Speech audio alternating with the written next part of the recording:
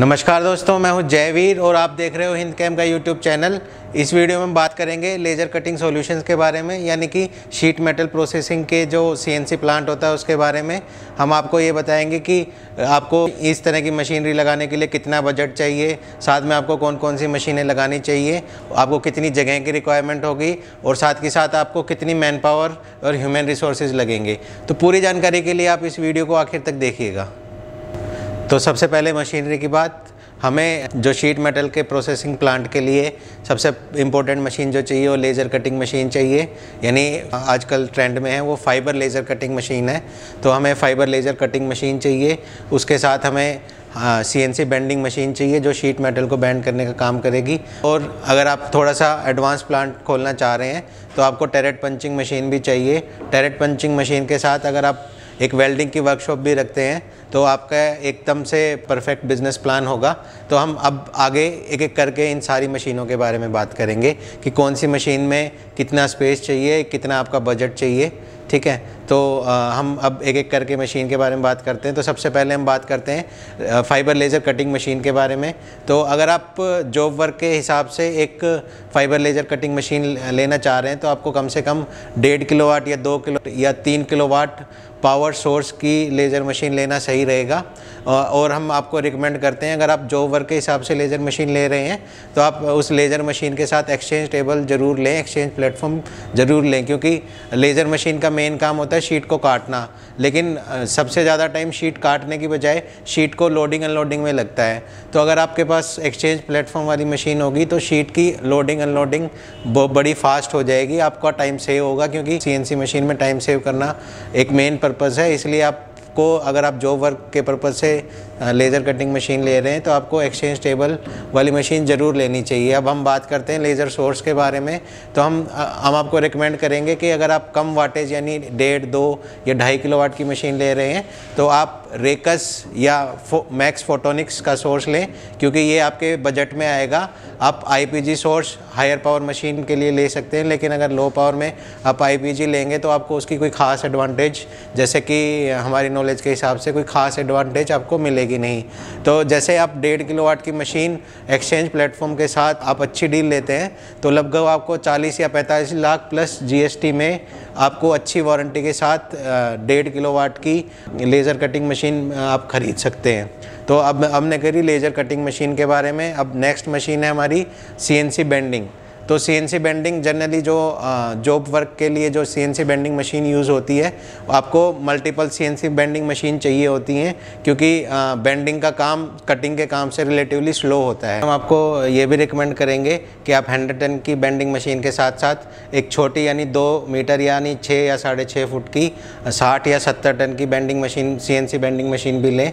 तो इस तरह की बेंडिंग मशीन एक तो आपकी बिजली कम खाएगी पावर कम खाएगी, और साथ के साथ आप छोटे जॉब वर्क उस पर आसानी से निपटा सकते हैं। तो आमतौर पर एक अच्छी पावर की लेज़र मशीन के साथ आमतौर पर एक या दो बेंडिंग मशीन चाहिए ही चाहिए होती हैं। साथ में आपको बेंडिंग मशीन के साथ साथ अलग अलग तरह के टूल्स यानी डाई और पंच भी चाहिए जैसे हेमिंग के लिए, यानी कि शीट को 180 डिग्री पे मोड़ने के लिए, साथ ही साथ आपको कुछ अलग एंगल के टूल्स भी, अलग एंगल की या अलग थिकनेस की बेंडिंग के लिए अलग अलग डाई पंच का सेट भी चाहिएगा।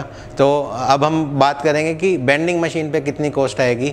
तो अगर आप साठ टन की बेंडिंग छोटी बेंडिंग मशीन की बात करते हैं तो वो आप 12 या 15 लाख प्लस जी की रेंज में ख़रीद सकते हैं। वहीं अगर आप बड़ी बेंडिंग मशीन जैसे सौ टन की बेंडिंग मशीन की बात करते हैं तो वो आपको 17 से 18 लाख प्लस जीएसटी में मिलेगी। वहीं अगर आप थोड़ी और बड़ी बेंडिंग मशीन लेते हैं, जैसा कि जो वर्क में रिक्वायर्ड होता है, डेढ़ सौ या दो सौ टन की मशीन तो वो आपको पच्चीस से तीस लाख प्लस जीएसटी के बजट में आएगी। तो अब हम इसके बाद बात करते हैं टेरेट पंचिंग मशीन के बारे में। तो टेरेट पंचिंग मशीन क्या होती है? टेरेट पंचिंग मशीन एक जनरल पंचिंग मशीन होती है, जिसमें बहुत सारी जो पंचिंग की शेप्स लगी होती हैं, जैसे कैप्सूल शेप या स्टार शेप इस तरह की बहुत सारी शेप लगी होती हैं। और आप प्रोग्राम के हिसाब से उन शेप्स को चूज़ कर सकते हैं और जो जो पंचिंग के जो पंच होते हैं, जो पंचिंग के लिए जो पंच होते हैं, वो एक टेरेट शेप यानी एक गोल शेप में लगे होते हैं और प्रोग्राम के हिसाब से जो जो पंच होना है, वो पंच अपने आप टेरेट में सेट हो जाता है, घूम के अपने आप टेरेट में सेट हो जाता है। तो आप इससे वर्सेटाइल पंचिंग कर सकते हैं। ध्यान रखिएगा टेरेट पंचिंग मशीन एक कॉस्टली इक्विपमेंट है, जिसकी कीमत 50 लाख रुपये से ऊपर ही होगी। तो टेरेट पंचिंग मशीन आपको चाहिए कि आपका काम स्पीडअप होगा और टेरेट पंचिंग मशीन पे कटिंग की कॉस्ट लेजर कटिंग मशीन के कंपैरिजन में बहुत कम आती है, लेकिन ये उतनी वर्सेटाइल नहीं होगी जितनी वर्सेटाइल आपकी लेजर कटिंग मशीन है। तो अगर आपके पास जो ओवर का काम बहुत है तो आप टेरेट पंचिंग मशीन भी लगा सकते हैं अपनी कटिंग कॉस्ट कम करने के लिए।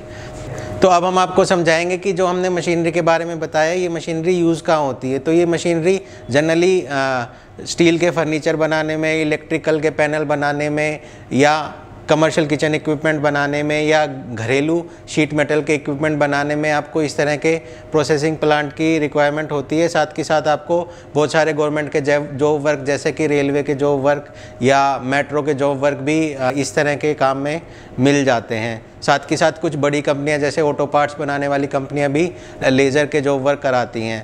तो मार्केट में इस तरह की जॉब वर्क की बहुत डिमांड है। तो इस तरह की इन्वेस्टमेंट आपको बिल्कुल ज़रूर काम आएगी। तो अब हम बात करते हैं कि आपको स्पेस की कितनी रिक्वायरमेंट होगी। तो सबसे पहले हम बात करते हैं कि आप एक job work practical job work के हिसाब से मान लो आप दो किलो वाट की लेज़र कटिंग मशीन लेते हैं, जिसमें एक्सचेंज प्लेटफॉर्म भी एडिड है। तो इस तरह की मशीन के लिए आपको लगभग 400 स्क्वायर यार्ड्स की जगह की रिक्वायरमेंट होगी, जहाँ पे हमने कंसीडर किया है जो अनप्रोसेस सीट है, उनकी कटिंग जो कटिंग के लिए रॉ मटेरियल इनपुट में आ रहा है, उनका स्टोरेज स्पेस उसके बाद कट मेटल का स्टोरेज स्पेस या उनकी शॉर्टिंग के लिए जो स्टोरेज स्पेस चाहिए होता है, साथ के साथ हमने इसमें दो वेंडिंग मशीन को भी इंक्लूड किया है और एक टेरेट पंचिंग मशीन को भी इंक्लूड किया है। तो इन चार इक्विपमेंट के लिए आपको लगभग 400 स्क्वायर यार्ड की रिक्वायरमेंट होगी। वहीं अगर आप अपनी शीट मेटल जॉब वर्क के साथ, क्योंकि आप वेल्डिंग का काम भी ऐड कर सकते हैं तो वेल्डिंग का काम ऐड करने के लिए आपको लगभग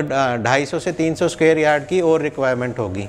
तो अगर आप अपनी जो लेजर मशीन का जॉब वर्क के साथ साथ आप बेंडिंग टेरेट पंचिंग और वेल्डिंग की भी सर्विस देना चाह रहे हैं तो आपको कुल मिला के 800 स्क्वायर यार्ड फ्लोर स्पेस की रिक्वायरमेंट होगी। तो अब हम बात करते हैं मैन पावर की। और इसके अलावा हमें और क्या चाहिए? तो मैं इसके अलावा हमें मशीनरी के अलावा हमें कुछ सॉफ्टवेयर की भी रिक्वायरमेंट हो सकती है, जैसे कि आप डिज़ाइनिंग सर्विसेज़ भी प्रोवाइड कर सकते हैं, जो सीएनसी के सॉफ्टवेयर हैं, जैसे कि सॉलिड वर्क्स इस तरह के सॉफ्टवेयर की कीमत दो से तीन लाख की रेंज के बीच में होती है। तो आपको इस तरह के सॉफ्टवेयर की और स्किल्ड मैन पावर की, जो कि इस तरह के सॉफ्टवेयर को यूज़ करके आपकी डिज़ाइनिंग कर पाए।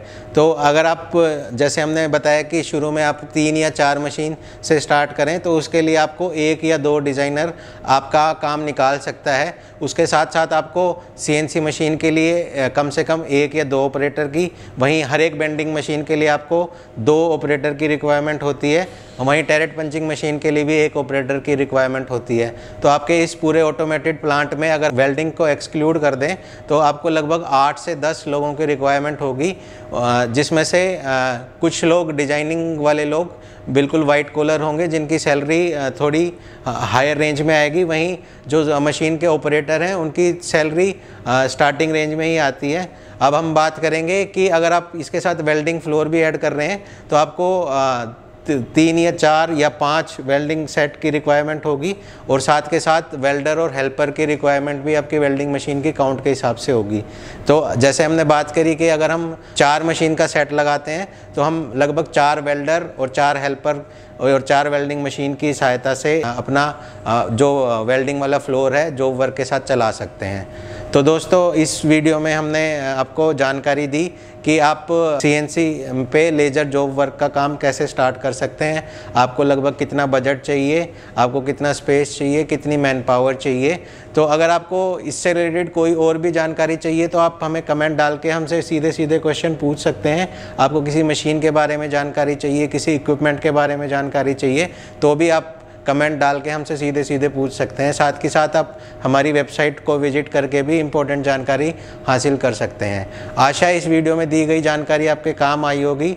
अगर आप शीट मेटल के बिज़नेस से जुड़े हैं या इंजीनियरिंग के स्टूडेंट हैं या भविष्य में सीएनसी मशीन या लेज़र कटिंग मशीन लगाना चाह रहे हैं या इसी तरह के इक्विपमेंट में इंटरेस्टेड हैं तो हमारे इस यूट्यूब चैनल को आप ज़रूर सब्सक्राइब करिएगा। हम समय समय पर आपको इम्पोर्टेंट जानकारी इस फ़ील्ड से रिलेटेड ज़रूर देते रहेंगे। हमारे ये वीडियो देखने के लिए धन्यवाद।